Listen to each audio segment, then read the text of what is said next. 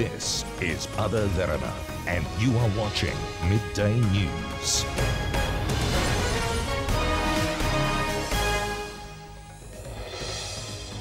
අයිබෝවන් ඔබෙක් වන්නේ ජාත්‍යන්තර ප්‍රමිතියෙන් පුවත් වාර්තාකරණයේ දේශීය සන්නාමය අද දිරන මධ්‍යක්න ප්‍රධාන පුවත් ප්‍රකාශය සමගින්. මම තාලුක මුණසිංහ ප්‍රථමයෙන් සිරස්ථ.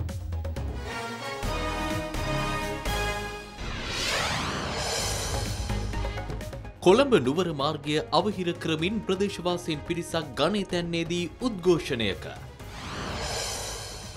ලක්සෙත සෙවන නිවාස ව්‍යාපෘතිය ජනපති අතින් ජනතා අයිතියට.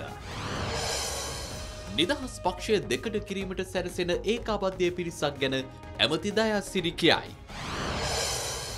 ගෙල වැලලාගෙන මිය ගිය තරුණ යුවලකගේ සිරුරු බණ්ඩාරගම නිවසකින් හමුවේ. රෝහිංයා ඝාතන සිදුවීම්වලට එරට ආරක්ෂකාංශ වගකිව යුතු නොමැති බවට වාර්තාවක්. ඉතාලියට ලෝක කුසලාන පාපන්දු තරඟාවලිය අහිමි වෙයි.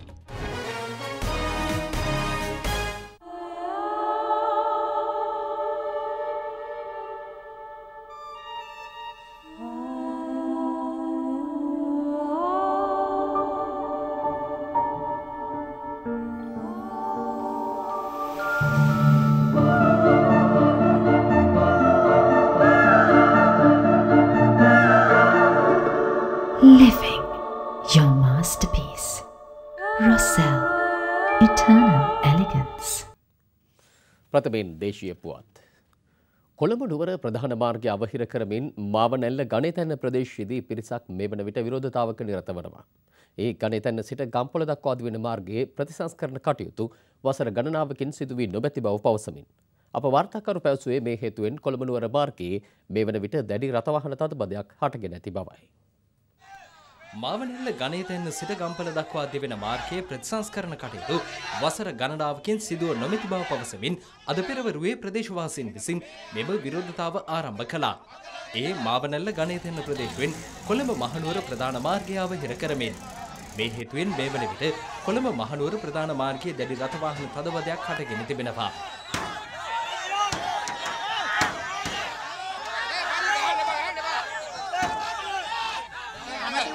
අපිට උත්තරයක් දෙන්න කියන්න. ඇමතිවරයා දෙන්න ඕනේ උත්තරයක්. ඇමතිවරයා අපේ ඡන්දය ගත්තා. ජාතිය ජාතික අපරාධයක් අපිට කරේ. අද තත පහක වැඩක් කරන්න. ඇයි එහෙම කරන්නේ? මේ අපි රවටන්න අපි මොකද? වැත්තට හරි ඉස්කෝලේ ගිය මිනිස්සු අපි. මේ පාරේ අද වාහනයක් යන්න බෑ. පාර අවදානම්. මේක කවදාවත් හොස්පිටල් එකකට ගෙනියන්න බෑ. ඒක නිසා අනිවාර්යයෙන්ම පාර අපිට ඕනේ. එමෙන්ම තම ගැටලුවට බලධාරීන්ගෙන් නිසි විසඳුමක් ලබා දෙන තෙක් මෙම විරෝධතාවය අත් නොහරින බවද ඔවුන් පවසනවා. බාලිකාවත්ත ලක්සිත සෙවන බහල් නිවාස සංකීර්ණයේ ජනතා අයිතියට පැවරීම ඊයේ සිදු කෙරුණා. ඒ ජනාධිපති මෛත්‍රීපාල සිරිසේන මහතාගේ ප්‍රධානත්වයෙන්. නාගරික පුනර්ජීවන ව්‍යාපෘති යටතේ මෙම ලක්සිත සෙවන මහල් නිවාස සංකීර්ණය ඉදිකර තිබෙනවා. මාලිගාවත්ත ඇපල්වත්ත ප්‍රදේශයේ පදිංචි පවුල් හාරසියක් සහ කොළඹ අගනගර ව්‍යාපෘතිය හේතුවෙන් නිවත් කිරීමට නියමිත පවුල් මෙහි පදිංචි කෙරෙනවා. නිවාසේකක හාරසි අසුවකින් සමන්විත මෙම මහල් නිවාස සංකීර්ණයේ නිවාස ප්‍රධානය සංකේතවත් කරමින් ජනාධිපතිවරයා අතින් නිවාස ලහබීන් දස දෙනෙකුට යතුරු ප්‍රදානය කෙරුණා.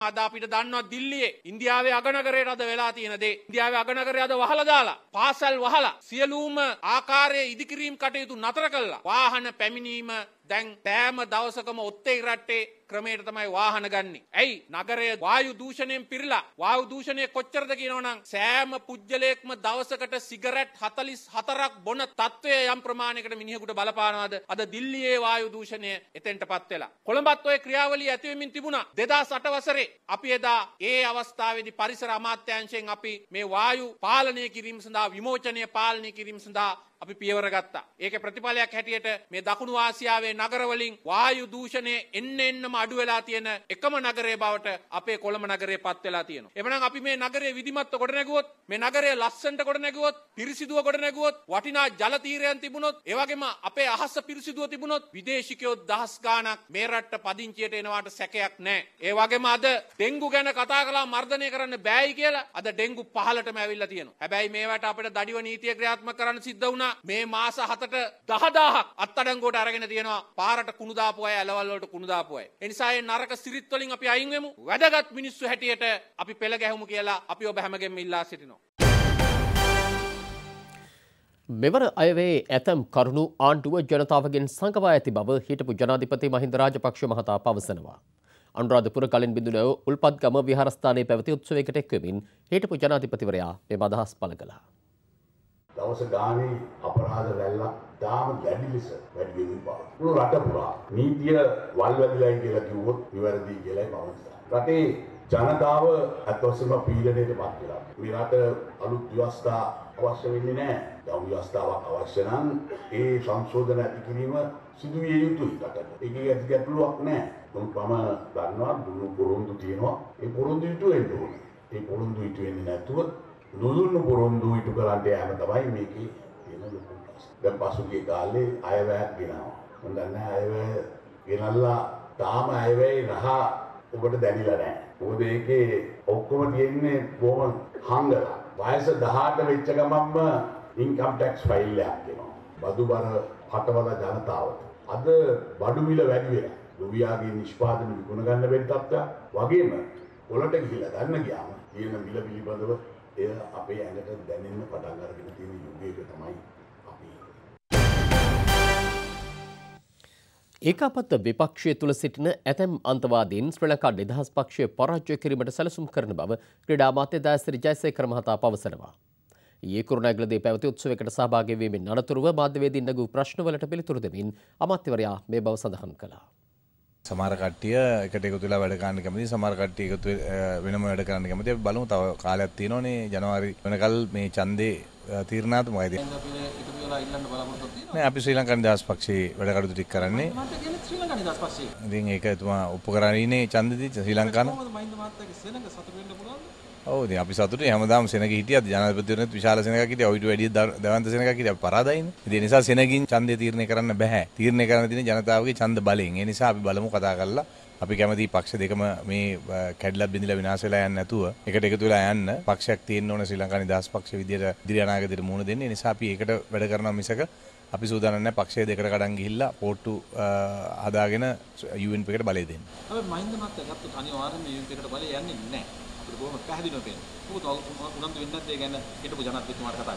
නෑ නෑ අපි කැමති අපි කතා කරලා තියෙන්නේ අත්- අපේ ජන- ජනාධිපතිතුමාලා දෙන්නටම මේ සම්බන්ධව කතා කරලා තියෙනවා හිටපු ජනාධිපතිතුමාටත් වර්තමාන ජනාධිපතිතුමාටත් අපිට උමනා කරලා තියෙන එකට එකතු වෙලා යන්න ඉතින් සමහර එතන ඉන්න අන්තවාදී පිරිසක් ඒ අය කල්පනා කරනවා ශ්‍රී ලංකා නිදහස් පක්ෂය පරාජය කරලා අ, තව අවුරුදු 10කින් 15කින් ඒගොල්ලන්ට බලයට එන්න පුළුවන් වෙයි කියලා. ඒක තමයි තියෙන ප්‍රශ්නේ. නව ව්‍යස්ථාව තුළින් විදායක ජනාධිපති දුරය අහෝසි කිරීම වෙනුවට විදායක බලතල සහිත අගමැතිවරයෙක් නිර්මාණය කිරීමට උත්සාහ දරන බව පෙරටුකාමී සමාජවාදී පක්ෂය පවසනවා. පොළොන්නරුව කදුරුවල ප්‍රදේශයේ එම පක්ෂ විසින් සංවිධානය කර තිබූ ඉල්මහ විරුසමර උත්සවයකට එක්වමින් එහි අධ්‍යාපන ලේකම් පුබුදු ජයකොඩ මහතා මේ බව ප්‍රකාශ කළා. දැන් සටන තිබුණේ කොතනද? 80 දශකෙ වෙද්දි.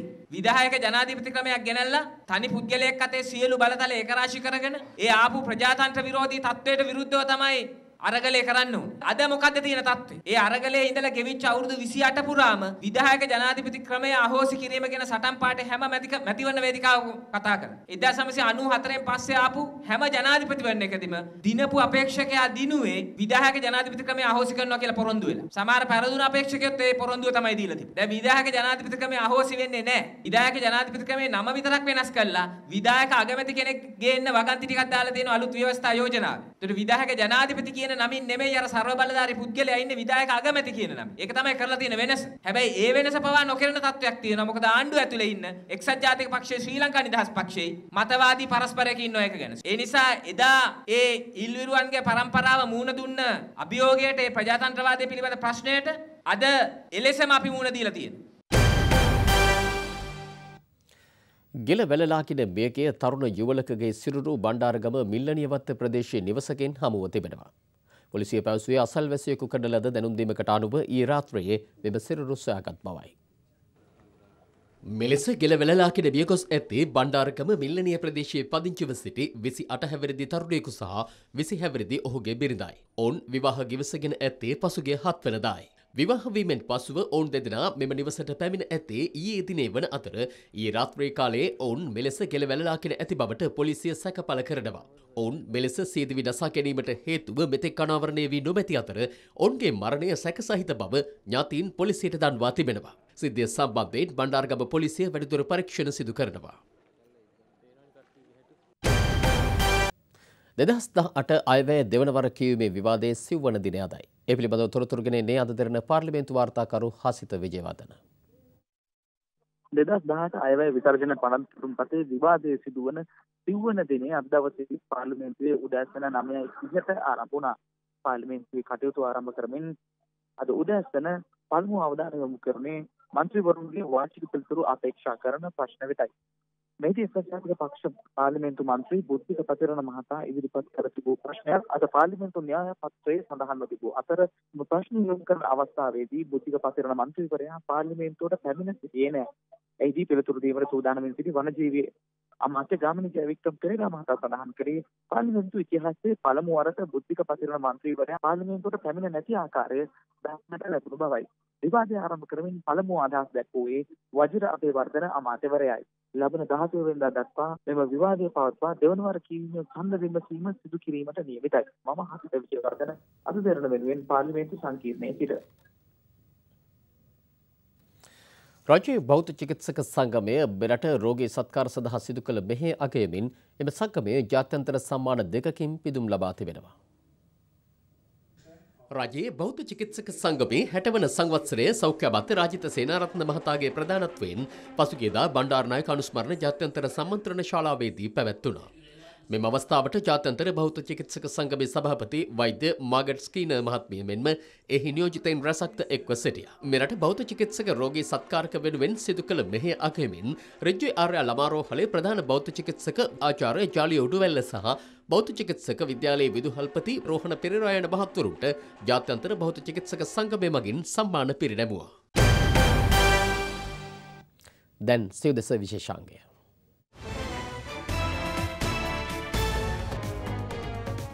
ලෝක දීවර දිනයට සමගාමීව අකුලාන වෙරළ තීරයේ සංරක්ෂණය කිරීමේ ශ්‍රමදාන වැඩසටහනක් මෙලෙස පැවැත්වුණේ රජයේ නීලහරිත සංවර්ධන ව්‍යාපෘතියේ තවත් එක් පියවරක් ලෙසයි. රුපියල් ලක්ෂ තුන හමාරක මුදලක් වැය කරමින් වාරියපොළ රබුක්කන ප්‍රාථමික විද්‍යාලයේ ළමුන් පනස්සුන් දෙනෙකු සඳහා දෙදහස් දහට වර්ෂයට අදාළ පාසල් උපකරණ කට්ටල ප්‍රදානය කිරීමක් ඊයේ සිදු කෙරුණා. එම්පයිට් නම් රුදුකාංග නිෂ්පාදන සමාගම සිය සේවකින් උදෙසා සංවිධානය කරන වාර්ෂික චාරිකාවට වෙන් කළ මුදල් වැය කරමින් මෙම පරිත්‍යාග සිදු කිරීම විශේෂත්වයක්. සිංහල භාෂා කතික තරගාවලිය සමස්ස ලංකා ප්‍රථම ස්ථානයේ දිනාගත් පොල්පිතිගම පාලගම කනිශ්‍ර විද්‍යාලයේ කාව්‍යා කාවින්දී දැරිය ඇගීමට ලක් කරමින් උපහාර උරලක් පසුගේදා එම පාසලේදී පැවැත්වුණා. තවලම ප්‍රාදේශ ලේකම් කොට්ටාශයට ඇත් ඇලිහෙළ කොටහොර දොළ දහයකනුව මාර්ගය ප්‍රතිසංස්කරණය කරන්න ඉල්ලා ගම්වාසින් උද්ඝෝෂණයකට ඊයේ එක් වුණා.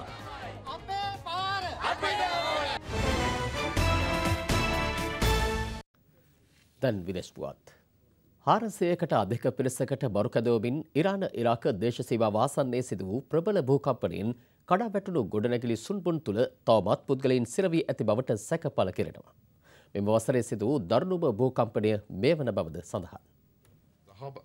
භූකම්පනයෙන් වැඩි බලපෑම් සිදු වූ ඉරානයේ සාපෝල් ඊ සහ ප්‍රදේශයේ ප්‍රධාන රෝහල විනාශ වී තිබීම හේතුවෙන් තුවල ලැබූ පිරිස් අගනුවර පිහිටි රෝහල් වෙත මාරු කර යවා තිබෙනවා.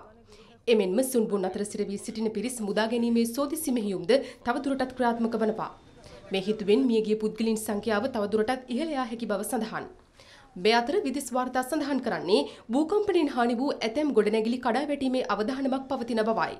මේ වන විට නගර රැසක ජල සහ විදුලි පහසුකම් බිඳ වැටී ඇති අතර විපතටපත් පුද්ගලින් රැසක් වීති සහ උද්‍යාන තුළ රැඳී සිටින බවද වාර්තා වනවා. රෝහින්ගයා අර්බුදය සම්බන්ධයෙන් මියන්මාර හමුදාව විසින් සිදු කරන ලද අභ්‍යන්තර පරීක්ෂණයේ වාර්තාව නිකුත් කර තිබෙනවා. එරට හමුදාවට එල්ල වී තිබූ රෝහින්ගයාවරුන් ඝාතනය කිරීම, ඔවුන්ගේ ගම්බීම් ගිනි තබා විනාශ කිරීම, කාන්තාවන් සහ ගැහැණු ළමුන් දූෂණය කිරීම සහ දේපල සොරකම් කිරීම වැනි චෝදනා සියල්ල ඉන් ප්‍රතික්ෂේප කර ඇති බව සඳහන්.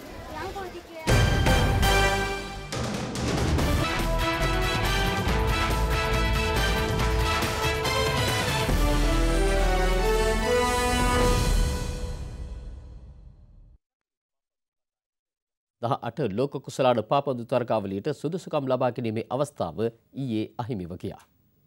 ඉතාලි කණ්ඩායම මෙලෙස පාපන්දු ලෝක කුසලානයකට සුදුසුකම් ලබා ගැනීමට අපොහොසත් වූයේ වසර පනස් නමයකට පසුවයි. දෙදහස් දහට ලෝක කුසලාන පාපන්දු තරගාවලියට සුදුසුකම් ලබා ගැනීමට ඉතාලි කණ්ඩායමට ඉදිරිව තිබූ අවසන් අවස්ථාව වූයේ ඊයේ ස්වීඩනය සමග පැවති තරගයයි. ස්වීඩනය සමග පැවති තරගය ජයගත්තේ නම් ඉතාලි කණ්ඩායමට ලෝක කුසලාන පාපන්දු තරගාවලියට සුදුසුකම් ලබා ගැනීමේ අවස්ථාව හිමිවීමට නියමිතව තිබුණා. කෙසේ වෙතත් දෙරට අතර ඒ පැවති තරගය ඉතා තියුණු මුහුණුවරක් අත්තා. එම තරගය නිමාවට පත් වූයේ ජය පරාජයෙන් තොරවයි. එහෙතුවෙන් ඉතාලි කණ්ඩායමට දෙදහස් දහ අට ලෝක කුසලාන පාපන්දු තරගාවලියට සුදුසුකම් ලබා ගැනීමට තිබූ අවස්ථාව හිමිව ගියා. සිව්වරක් පාපන්දු ලෝකශූරීන් වී ඇති ඉතාලි කණ්ඩායම අවසන් වරට මෙලෙස පාපන්දු ලෝක කුසලානයට සුදුසුකම් ලබා ගැනීමට අපහොසත් වූයේ එදහස් නමසය පනස් අට වසරට පසුවයි. මෙම පරාජයත් සමඟ වත්මන් ඉතාලි පාපන්දු කණ්ඩායමේ නායක ගියන්නුගේ බෆෝන් ජාත්‍යන්තර පාපන්දු පිටියෙන් සමු ගැනීම නිවේදනය කළා. පාකිස්ාන දගපන්දු යවන ක්‍රීඩක සයිඩ් අජ්මාල් සිය ජාත්‍යන්තර ක්‍රිකට් දෙවියට සමුතීමට තීරණය කර තිබෙනවා. හතලිස් හැවිරිදිවේ පසුවන සයිට් අජ්මාල් ජාත්‍යන්තර ක්‍රිකට් පිටියට පිවිසියේ දෙදහස් අට වසරේදී. අජ්මාල් දෙදහස් නමය වසරේදී ශ්‍රී ලංකාවට එරෙහිව ටෙස්ට් වරම් හිමිකරගත් අතර මෙවන විට ඔහු ටෙස්ට් තරග තිස් පහකට ක්‍රීඩා කර දවාගෙන ඇති කඩුලු සංඛ්‍යාව එකසිය හැත්තෑ අටක්. එක් දින තරග එකසිය දහතුනකට ක්‍රීඩා කර කඩලු එකසි අසූ හතරක් තවාගෙන ඇති අජ්මාල් විසයි විස්ස කඩලු අසූ පහක් තවාගෙන තිබෙනවා. අවසන් වරට දෙදහස් පහළව වසරේ අප්‍රේල් මාසයේදී බංලාදේශය සමඟ විසයි විස තරගයකට ක්‍රීඩා කිරීමෙන් අනතුරුව ඔහු ජාත්‍යන්තර තරගයකට ක්‍රීඩා කර නැහැ. එ සමගෙන් අද දෙරට බද්ධ්‍යක්ට ප්‍රධාන පුවත් ප්‍රකාශය මෙතකින් අවසන්. දවසේ උණුසුම් පුවත් එසනින් දැන ගැනීමට ඔබ කළයුත්තේ ඔබගේ චක්කව දුරකතනය භාවිත කර තිරේ දිස්වඩාකාරයෙන් අත්තරන එසම සැලට් සේවාව සක්්‍රී කර ගැනීමයි. වැඩිදුර තොරතුරු සඳහා පිවිසෙන්න්න අපගේ වෙබ් අවකාශය www.අදදරන.lk. You are watching Other Dharana 24